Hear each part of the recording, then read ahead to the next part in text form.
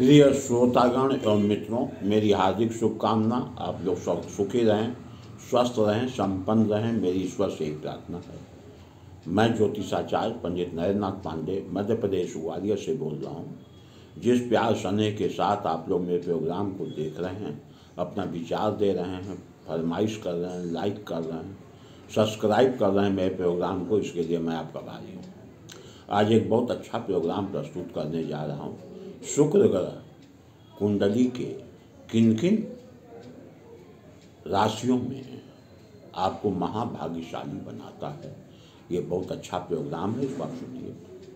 जिसके कुंडली में, वृषभ राशि में शुक्र बैठा हुआ हो, ऐसे लोग महान भाग्यशाली होते हैं, रंग से राजा बनते हैं, ज़ीरो से हीरो बनते हैं, देश में अपना यश कृति फैलाते हैं, देश में पूजे जाते हैं अपना स्वयं पहचान बनाते हैं जिसके कुंडली में मिथुन राशि में शुक्र बैठा हुआ हो, ऐसे लोग उदार होते हैं, भावुक होते हैं माता पिता के सेवक होते हैं, स्वावलंबी होते हैं, स्वतंत्र विचार के होते हैं।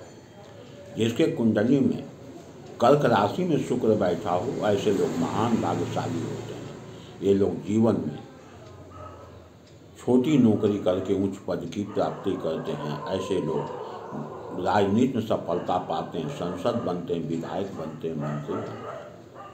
जिसके कुंडली में, सिंह राशि में शुक्र बैठा हो, ये कला संबंधी विद्या पाते हैं, ऐसे लोग संगीतकार होते हैं, लेखक होते हैं, साहित्यकार होते हैं और अपनी योग्यता से अपनी पहचान बनाते हैं।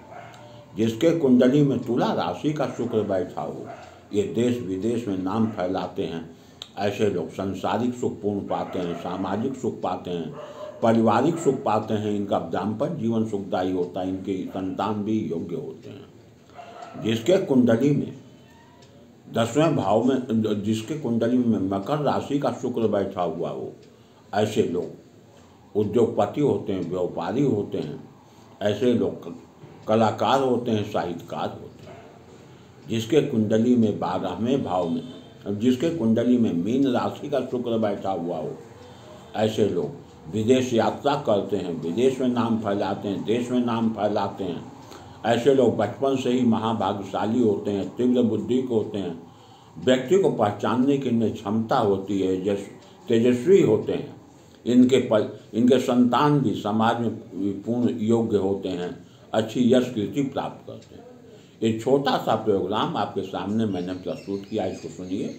इससे संबंधित कोई प्रश्न हो तो मेरे प्रत्येक प्रोग्राम में मेरा फ़ोन नंबर दिया हुआ डिस्क्रिप्शन में भी दिया हुआ आप संपर्क कर सकते हैं।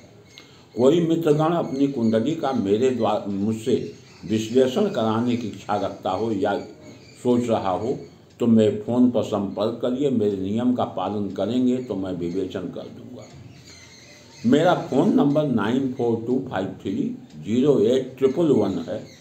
Nine four two five three zero eight triple one है। इस पर संपर्क कर सकते हैं। इतना कहते हुए मैं आपसे विदा ले रहा हूँ। नमस् नमस्कार।